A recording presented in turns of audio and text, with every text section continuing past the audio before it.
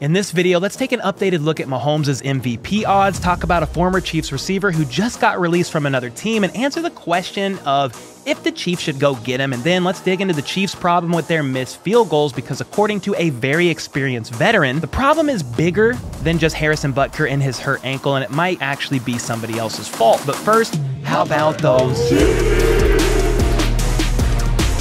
All right, let's just jump right into this because after the Chiefs beat the Texans in overtime, a couple of cool stats have surfaced. The first one is this Patrick Mahomes was the highest graded QB in week 15 with a passing grade of 90.5, and he had the highest single game completion percentage in NFL history with a minimum of 40 attempts. Don't sleep on that one, as he went 36 for 41 for 336 yards and two touchdowns in the air. And that is an 87.8 completion percentage, first of all. And second, Mahomes wasn't even done with total stats because he also rushed five times for 33 yards and a touchdown. And with that near perfect performance, Mahomes is reportedly the sudden MVP favorite at multiple sports books as speculation of an injury to Eagles QB Jalen Hurts runs wild. According to Adam Schefter, Hurts was hurt no pun intended. Hurts was hurt late in the third quarter when Bears defensive end Trevis Gipson drove him into the ground, and it's not certain yet if he will play Saturday against the Cowboys due to a sprained shoulder. So Mahomes is edging his way back to the MVP favorite, and as of right now, Mahomes has 4,809 total yards, 38 TDs, and 11 INTs, and Jalen Hurts has a total of 4,219 yards, 35 TDs, and 5 interceptions. And in case you're wondering, that includes both passing yards and rushing yards for both QBs. So Mahomes has 590 more total yards and three more touchdowns, but six more interceptions than Hurts. So I'm going to let you guys decide who the front runner is because all I can say is this it's pretty close at the moment, and the race is basically going to go down to the wire. Okay, in a moment, I want to talk about a former Chiefs receiver who just got released, as well as take an in depth look at the Chiefs' kicking problem with other potential problems to it brought up by a former Chiefs veteran. But first, we've got to celebrate the fact that the Chiefs have now officially conquered the West. One, two, three, four, five, six, seven years in a row. And that's why I want to thank today's sponsor, the Kansas City Chiefs Pro Shop. We've partnered up and are going to do a cool giveaway exclusively to the HBTC community, aka you guys watching. I'll disclose the giveaway details in a moment, but first, here's a little more about the official pro shop at the Kansas City Chiefs. They have the largest selection of Chiefs gear in the KC area, currently in three locations at GEHA Field at Arrowhead Stadium, inside the Chiefs Fit Gym in Overland Park, and also at their newest location, Chiefs Pro Shop Plaza, located at the Chiefs Fit Gym on the plaza at the address you can see on the screen. The plaza location is a convenient one to shop at, especially if you're in town for a game and staying at a hotel near the plaza or just shopping in the area, this is a great way to get the latest Chiefs gear, exclusive items, and to skip the lines at the stadium. And just FYI, you do not have to be a Chiefs Gym Fit member to shop at the Chiefs Pro Shop Plaza location. It's open to the public Monday through Saturday, 11 a.m. to 7 p.m., and Sunday, 10 a.m. to 4 p.m. And they currently have a sale going on right now until December 24th, excluding jerseys and Oakleys, where you can get 25% off your entire purchase, which is a pretty dope deal. And I can't forget to mention that the AFC West merch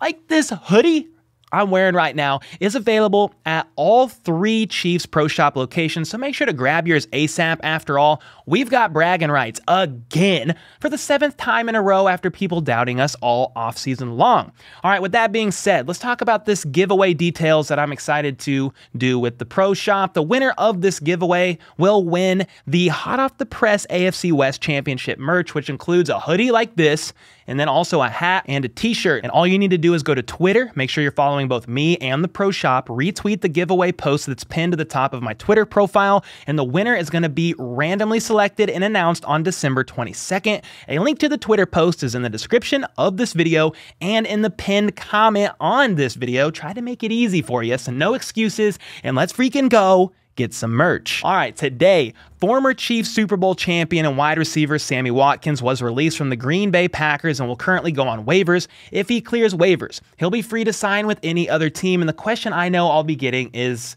Cole, what about Sammy Watkins for the postseason run? Remember, playoff Sammy, we don't win a ring without him. Yeah, remember that guy? Okay, let's talk about it for a moment. Watkins did play for the Chiefs for three seasons 2018, 19 and 20 and was their most productive receiver in the 2018 and 19 postseason runs. But in 2020, he dealt with calf and hamstring injuries, playing in only 10 regular season games and seeing only 23 snaps in the Chiefs Bucks Super Bowl. From there, he went on to the Ravens, playing in only 13 games due to continued hamstring injuries and had just under 400 receiving yards and a TD. In this past offseason, he signed a one year deal with the Packers. You guys got to remember that, right? Because he said in an interview that Mahomes is great, but Aaron Rodgers is on a whole nother level, blah, blah, blah. I know you remember that. And now that the Packers are 5 and 8 as of when I'm recording this video, prior to them playing on Monday Night Football tonight, it's been an underwhelming experience for all parties involved in Green Bay, to say the least, in regards to Watkins, as he's once again struggled with injuries and was even placed on IR back in September.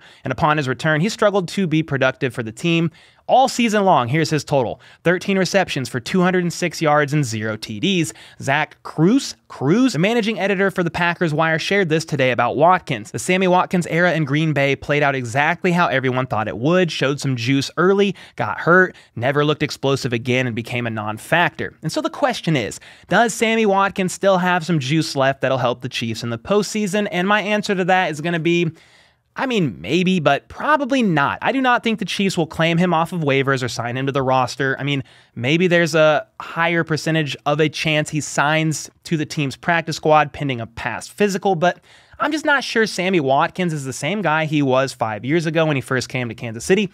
No shade to him. We're grateful for his contributions. Wouldn't have a ring without him. But I did want to address this as I know people would be curious when they hear this news. And I think most of you guys watching, listening, will agree with me that the Chiefs having the highest scoring offense in the NFL, they're not really hurting for more receiving weapons. We all know there's other issues that would need addressed first, especially when you consider the return of Mecole Hardman just around the corner. He's actually rumored to return for the Seahawks game, and then Kadarius Toney is back, albeit on a snap count. He played 10 snaps total in the Texans game, five on offense and five on special teams. And because of that, I don't think Watkins is needed. And so let's move on from there to a little bit more good news, and that is that there are no real new injury updates according to Coach Reid after the Texans game. Again, we will find out on Wednesday for sure when the team drops their first injury report for the game against the Seahawks, but thankfully on the outside at least, like no major injuries during the game, nobody carted off, nobody limping, which is great. The Chiefs have been able to stay pretty healthy overall. So while the receiving room and injuries seem to not really be a problem, something that does seem to be a bit more problematic is going to be the Chiefs special teams unit and their issue with missing field goals this season. If my research is correct, the Chiefs have attempted 45 extra points and have missed five of those, making a total of 40. Then they have attempted 29 field goals, missing seven of them, therefore making a total of 22.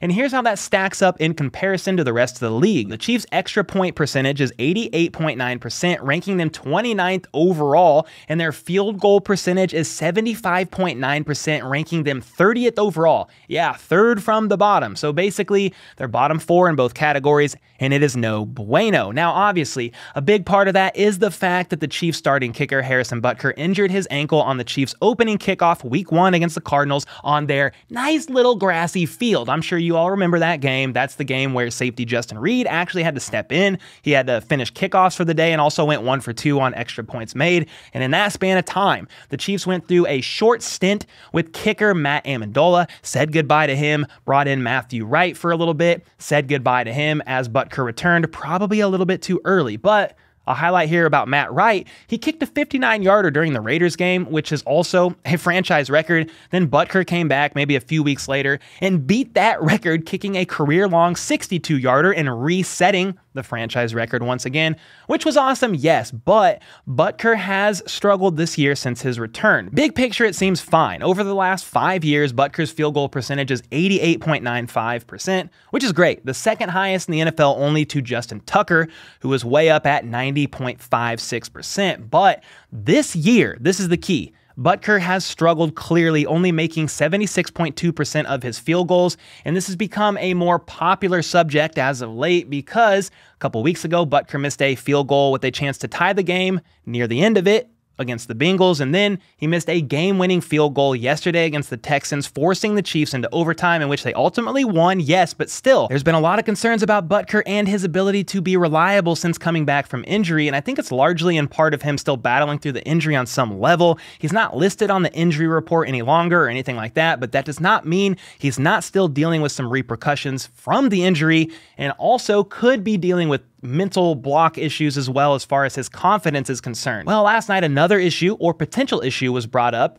to the surface when Former punter Dustin Colquitt took to Twitter with some things to say about the situation. And in case you somehow forgot, Dustin Colquitt was the Chiefs punter for 15 seasons, playing on a franchise record of 238 regular season games. He punted the ball over 1,100 times for over 50,000 yards. Good God. So he's a veteran's veteran and also was the team's placeholder. So I guess it's reasonably safe to say that he has some knowledge in the area. And for some additional context, he was released by the Chiefs on April 28th, 2020, just two days after the Chiefs agreed to terms with rookie UDFA Tommy Townsend, the Chiefs' current placeholder and starting punter. Okay, so Townsend's arrival ultimately led to the release of Colquitt, who by that time had been the placeholder for Butker for three seasons 2017, 18, and 19. Well, last night, Dustin Colquitt took to Twitter after the game, seemingly in defense of Butker, when Soren Petro of 810 Sports tweeted out saying Butker is officially a problem. Well, Colquitt then responded with a very interesting accusation, I guess you could call it. He said, Watch the holds and try saying that again. On the extra point, the laces are facing the sidelines. He's screwed him all year. Okay, so Dustin Colquitt is insinuating that Tommy Townsend is screwing Butker over with bad holds on the field goals and the PATs. Well, someone then responded to that saying, Wow, Colquitt clearly isn't a Tommy fan. And this is what he responded to that guy. He said, I'm a big fan of his punting, very exceptional actually, but his holding is very average. Then someone else said, interesting theory, but what about 2018 when he missed four PATs and 2020 when he missed six? And then uh, Dustin Colquitt then responded saying 2020 Tommy was holding you DS, which I think stands for dip stick. We'll just yeah, dipstick. It stands for dipstick. Please do some sort of research before commenting, then followed up with in 2018, he had nearly 30% more attempts, which means more chances to miss. And his final thoughts were this he's an exceptional punter. If you look back at the holds on the extra point, the laces are facing the sidelines, and on the missed 50 plus yarder, he pulled the ball to him at the last second and forced the ball to go to the right. He's been missing the spot all year. And so, the veteran's veteran, of 15 seasons says the blame is not so much on Butker and his hurt ankle, but on the placeholder and Tommy Townsend. Is that true? I have no freaking idea. I mean, I showed you one photo on the screen of the laces facing the sideline, but I saw other kicks that Butker did where the laces were facing front, how they should be, and Butker still missed the field goal or the PAT. Either way, I am no expert on the situation, whereas Dustin Colquitt certainly is, although he's no longer on the team. And if this was really a serious enough issue, talking about Townsend's inability to be a great placeholder, you would think the Chiefs coaching staff would have looked into it and addressed the issue. And I do want to point out that in 2020, when Butker missed six PATs, he also had the highest field goal percentage of any year of his career at 92.6%, which shows an improvement on the year that Townsend became the place kicker, believe it or not. So honestly, man, I do not know what the heck to make of all this because Tommy Townsend even weighed in himself with a tweet this morning saying Coach Reid preaches this all the time. Don't listen to people outside of the building. They have no idea what they're talking about. Back to work this week preparing for Seattle. And I mean, I take that as a shot right back to Colquitt, basically saying, bro, you don't work here anymore. You haven't in a few years, and therefore, you don't know what's going on behind the scenes and do not know what you're talking about. This is some crazy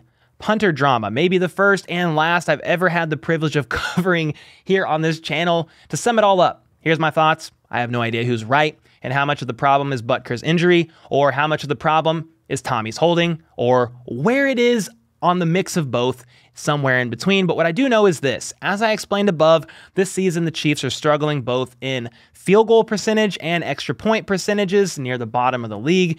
And something needs to be figured out here, especially before the team goes into the postseason with the goal of another deep run and potentially another Super Bowl ring. That's where I want to ask you guys your thoughts on all of this. Do you side with Colquitt? With him being the veteran's veteran, or maybe with Tommy Townsend, who says if you don't work here, you don't know what's going on behind the scenes? Or are your thoughts maybe something like it's probably a bit of both? But Butker was fine pre injury, and ultimately, I do not care whose fault it is. Just please fix it so we can make game winning field goals when it matters, especially in the playoffs. Let me know your thoughts in the comments down below. Then, on your way out, make sure to head over to Twitter to follow me and the Chiefs Pro Shop. Retweet my pinned contest tweet for the Conquering the West merch giveaway. And until next time, let's go. Let's freaking go. How about those?